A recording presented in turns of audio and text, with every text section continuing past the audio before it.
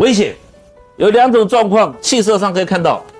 第一个，面如枯槁，就是人整个枯萎了，没有头上没有油了，干干的蓬起来了。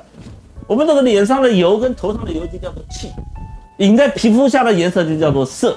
摸摸看鼻子，我们鼻子会出油，所以诸位戴玉的时候是常在鼻子上抹，那那玉多沾点油气蒸汽嘛。那把摸鼻子没有油了，再摸头发没有油了，显眼，快死了，快死了。哦，第二个呢？这个这个人呐，面如潮红，整个脸是红色的。你说啊，那老师他气色很好，我看他要死了。这个红呢，是没有亮的红，了解吗？没有亮的红，就整个好像血色浮起来一样，没有亮的红。这种往往都是中毒的病人，中毒的人。啊，这几种都是危险显眼。我们在相上面叫东东的残烛，啊。所以你在那边跟他打麻将，就你看到对面自摸那个人呢，头发是蓬起来了，快死了，怎么怎么回事？他的原因不见得是身体重病，可能明天就出车祸死掉，或者两个礼拜内就可以看到这个气色。哦，那还有有的时候呢，临床上看到人是蓝色、蓝色、蓝色，其实就是青色了。哦，青色的。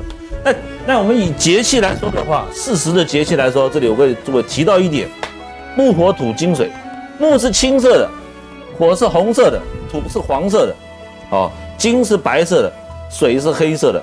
这个是春天、夏天，好长夏，哦秋天、冬天。在五行相生的，月木生火，火生土，土生金，金生水，水生木。如果我们看气色，在相生的也时节看到气色，代表吉；相克的时节代表凶。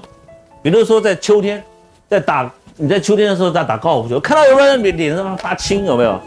这人就很快就会买单了。春天的时候发青都无所谓了，哦，以此类推下去。